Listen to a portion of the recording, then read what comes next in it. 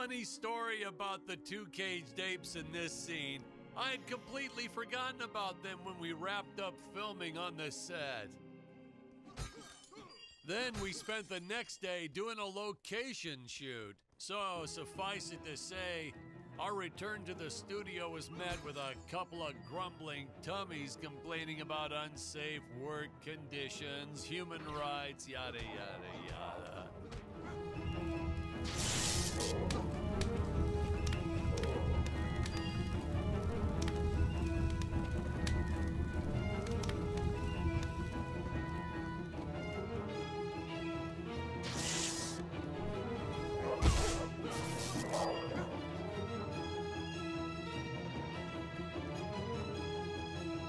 Patrick, I was thinking we should take a little break and get a bite to eat.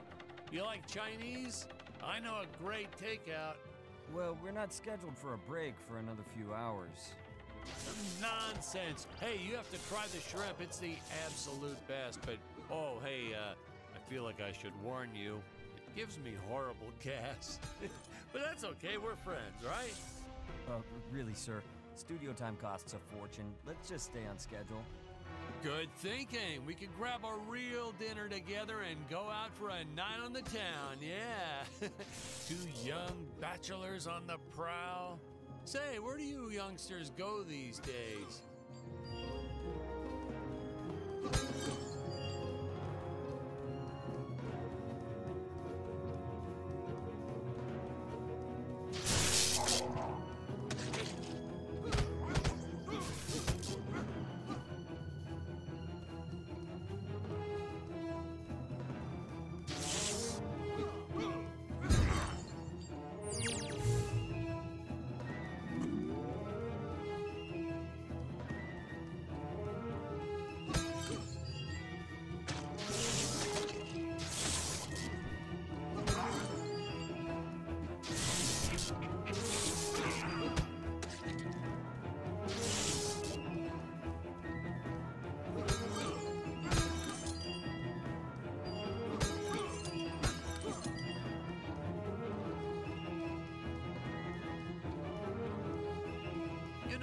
This movie may not have made the big splash in Hollywood or even made the budget back for that matter, but hey, in the end, I think it was still worth making just for those die-hard fans that really love it. I attended a lot of sci fi and movie cons, and to this day, I still see fans showing up dressed as aliens and apes and dinosaurs. Does a man proud. Now, granted, their costumes aren't exactly 100% faithful to the film, and it seems that no one ever remembers them by the right name. But still, knowing that we still have fans like this promoting the film decades later, it puts a tear in this old director's eye. I get all emotional.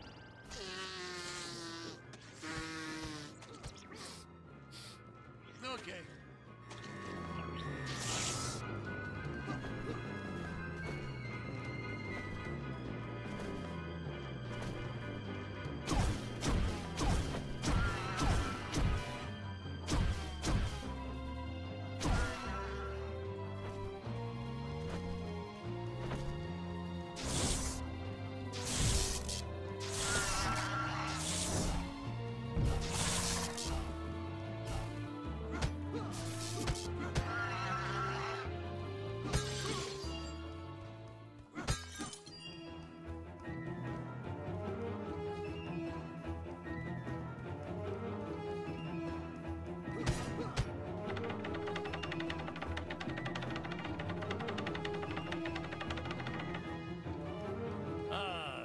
And his insistence on lens flare. I tell you, some days it felt like he was trying to be the director. Honestly, you could see dust on the lens, so ah, just go and wipe it off myself. He would get so upset about it too. Like my fingers aren't clean enough to wipe the lens. Don't touch the lens.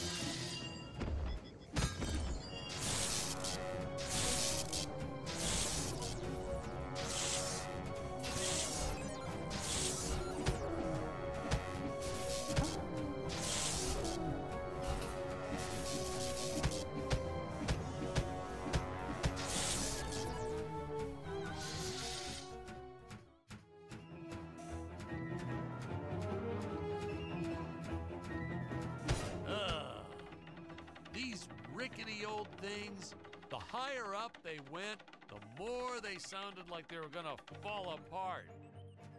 I'm amazed that no one ever got hurt, or worse, riding these things. Well, there was the actor we originally cast for Dick's role, but um, we don't talk about him.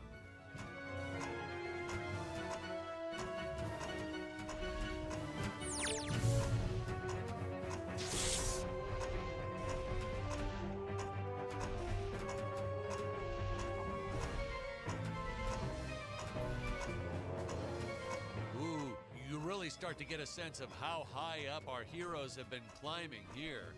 Reminds me of how the crew always used to comment on how high everyone was. Those jokers, they'd even say it when we were filming the grounded scenes. And they all giggled like school children whenever they mentioned it, too. So I'd make sure to laugh even harder so they'd know I was in on the joke. Whatever it was. Thank you.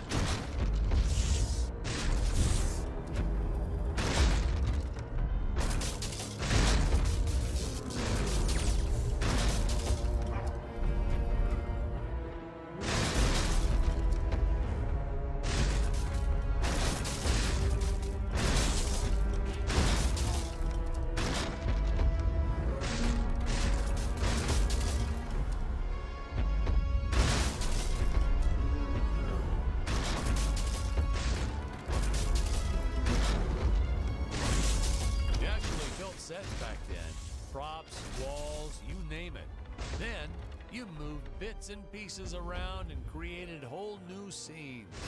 We were efficient. I adopted that technique to my wardrobe too. If you mixed and matched sufficiently, you could get by for years on only a handful of shirts and underwear.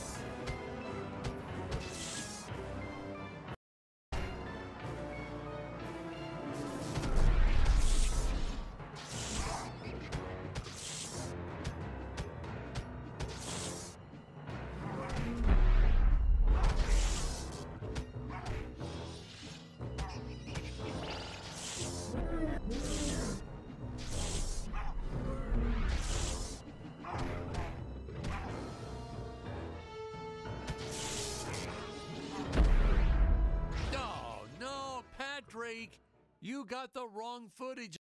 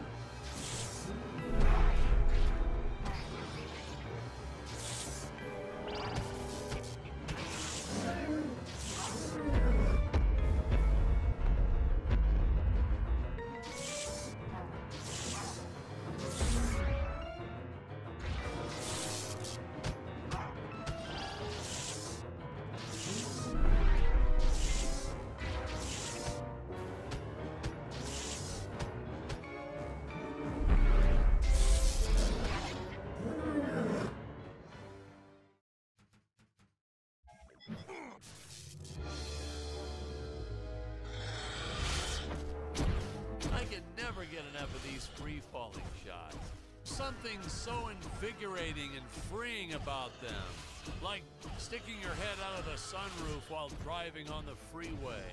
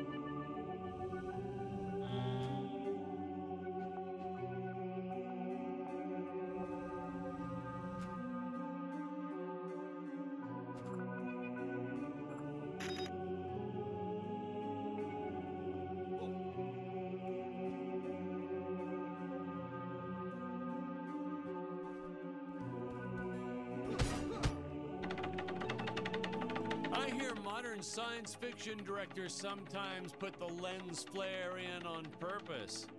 Why on earth? What's the next trend? Dead fly on the lens? Jeez. Watch. You won't believe me, but you just watch. It'll happen. Some big shot will do it for one scene, and the following year, everyone will be doing it.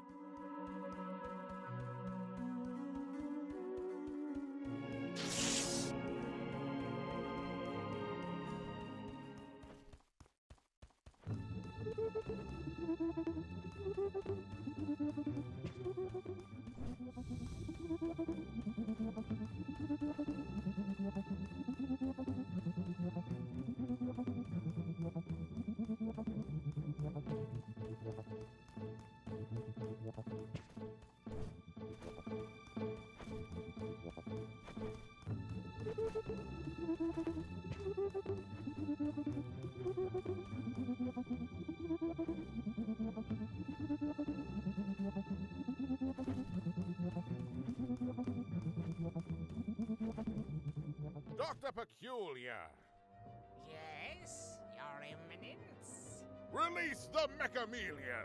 But Your Eminence, the Mechameleon isn't ready. What is the meaning of this? I thought he was completed. Genius is never completed, Your Eminence. I was just preparing to install a chainsaw on his tail. Enough! Your tinkering costs me precious gold and time. You do not have that luxury, Dr. Peculiar. Yes, Your Eminence. Releasing the Mechameleon at once. Ah, Ludwig. Yeah, good old Ludwig. We cast an actual doctor to play Dr. Peculiar. Never again. Oh my god, he was a cranky old coot. May he, um, rest in peace. The costumes, the script, the creature effects, you name it, he wouldn't stop criticizing everything. Well, in his defense, I think he did have some early signs of dementia or something. He was always getting lost on set, forgetting his lines, making up new ones. It was cute. Midway through a scene, he'd just yell, Where are my pills? it was like a catchphrase. We almost left a few of them in. I have to say that the incredible job the animators did with the King Gorilla can only be outdone by their work in the Mechameleon. I'll leave further comments for later in the film, but this was truly an epic creation.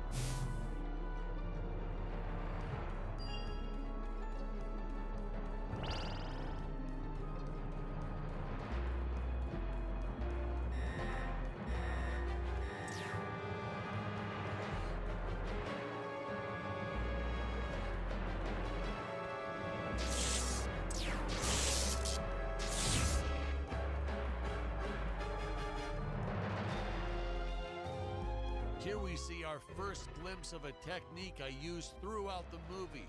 Want to make a big scary monster look even more menacing? Put it in a dome. Monster doesn't look scary enough already? Put it in a dome. Want the audience to know when a monster really means business? Put it in a dome.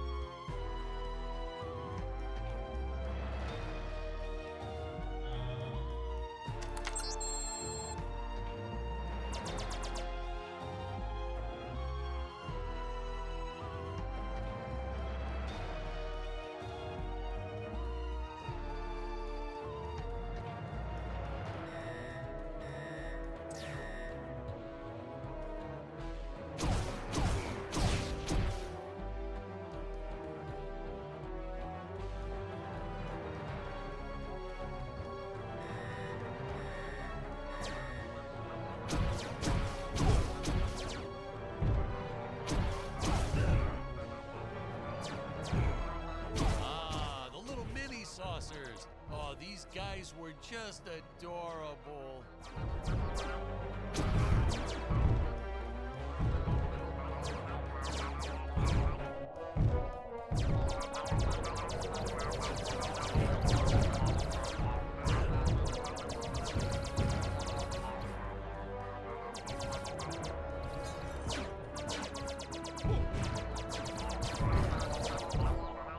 Whoa, my bad. Uh, don't worry, I have the right clip now.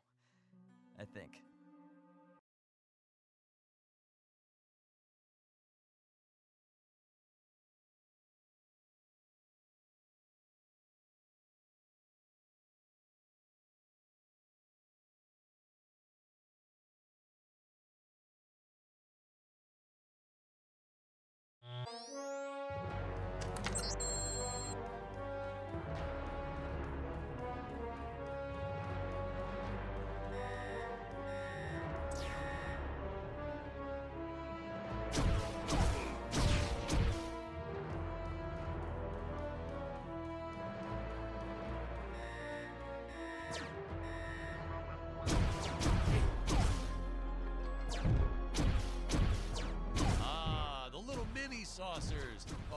Guys were just adorable.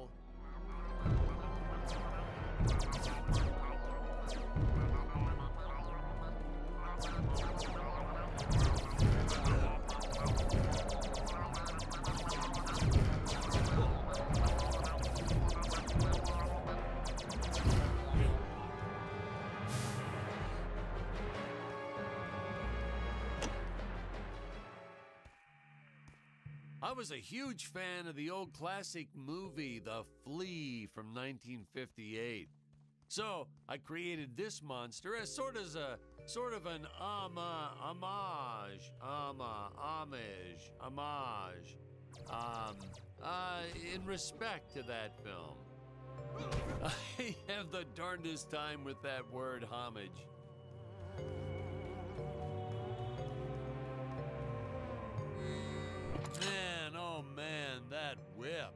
We probably should have invested in some training courses so the actors knew how to properly handle it, but instead we just let them flail it around wildly. You know that saying, it's all fun and games until someone loses an eye? That's true. And that's the story of why the Emperor wears that metal monocle. Greg was a real trooper about it, though. Didn't even seem phased that he'd have to wear an eye patch for the rest of his life. I think he went on to do some pirate themed promotions at his used car lot once we wrapped up production.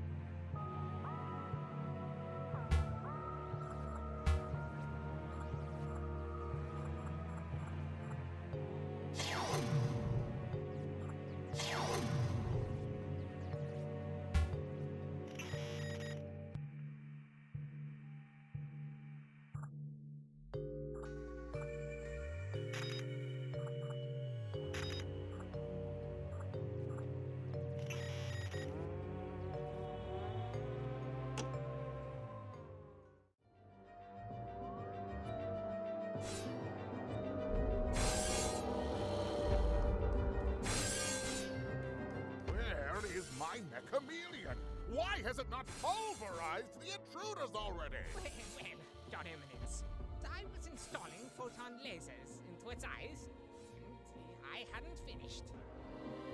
So, the Mechameleon might be somewhat, well, blind. My indomitable guardian is blind? I do not tolerate failure, Doctor. Uh, getting these two to do their scenes together was enough to make your head spin. They weren't strictly speaking actors, well, not in your usual sense. Ludwig here, or Dr. Peculiar, actually was a doctor. I think I told you that before. Uh, Greg, our emperor, well, that's a whole different can of beans. Our casting guy found him at a used car lot. Greg talked him into buying just a horrible car. Thing never ran. Oh, then when he tried to get his money back, Greg just laughed maniacally. So, doggone it, he offered Greg the role right on the spot. He said, Dan, this guy is perfect.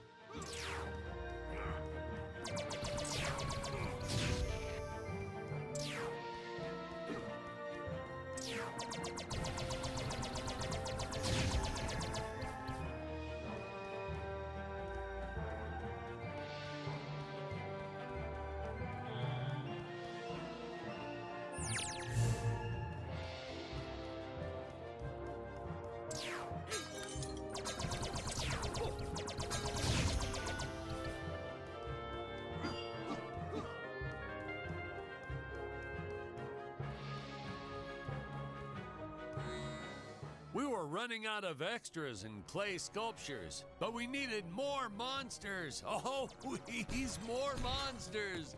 So we had this brilliant idea. If you stick a puppy inside an old vacuum cleaner, wham, instant monster. Throw in a string of Christmas lights and it's camera ready in five minutes. Why did you film so many scenes of your actors dying anyhow? why? To throw off the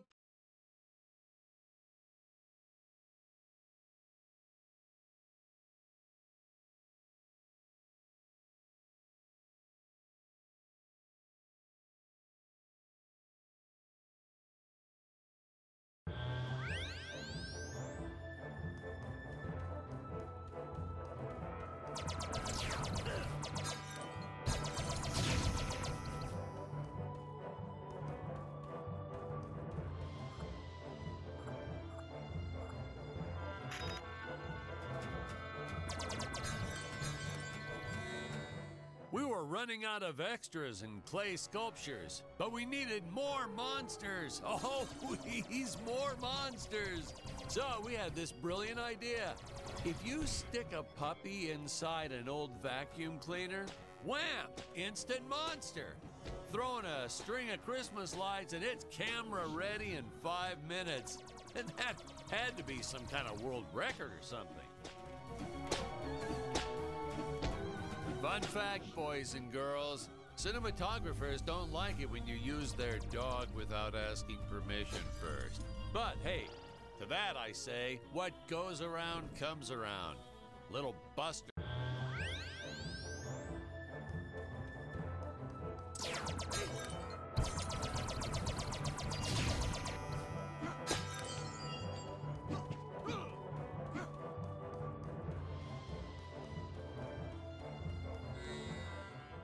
Running out of extras and clay sculptures, but we needed more monsters. Oh, please, more monsters. So we had this brilliant idea. If you stick a puppy inside an old vacuum cleaner, wham, instant monster. Throwing a string of Christmas lights and it's camera ready in five minutes. And that had to be some kind of world record or something. Fun fact, boys and girls cinematographers don't like it when you use their dog without asking permission first. But hey, to that I say, what goes around comes around. Little Buster here ruins so many shots barking all day long. You don't want me to grab your dog and cover him in Christmas lights? Well, don't bring him to work.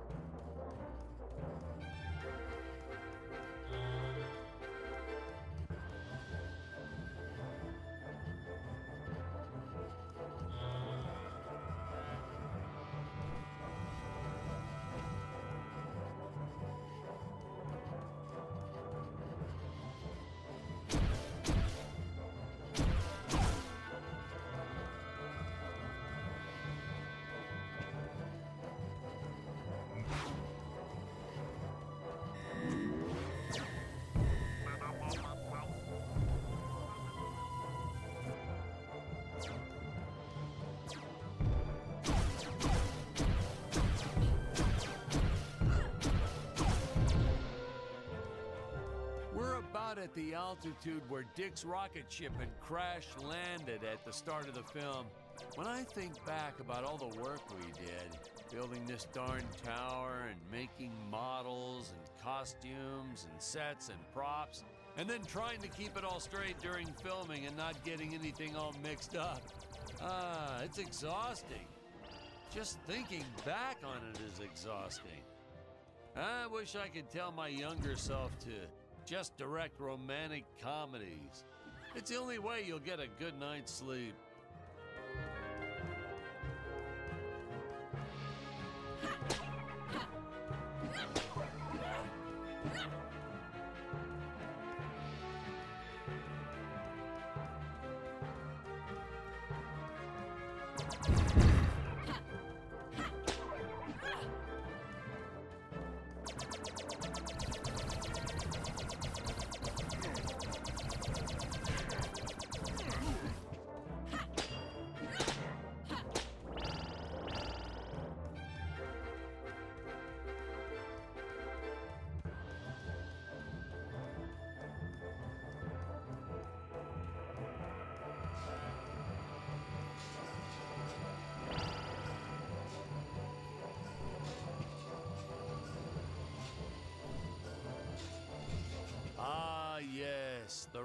Rotating contraption things. We actually used Ferris wheel parts from an old amusement park. I think it was called Disneyland. Is it Disneyland? Isn't that kind of close to. Yeah, and the courts agreed with you. They shut them down before they opened the gates. Well, it's their own fault, I guess. Well, naturally, my production team swooped right in and bought up everything they could get their hands on.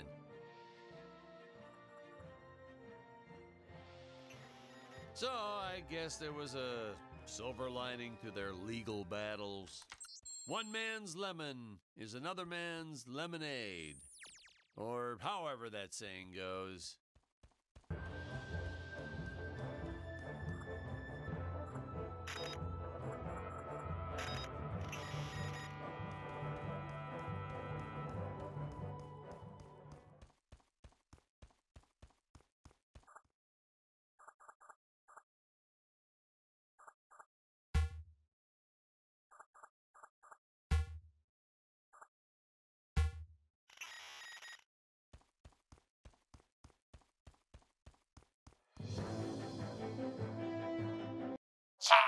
Valkyrie.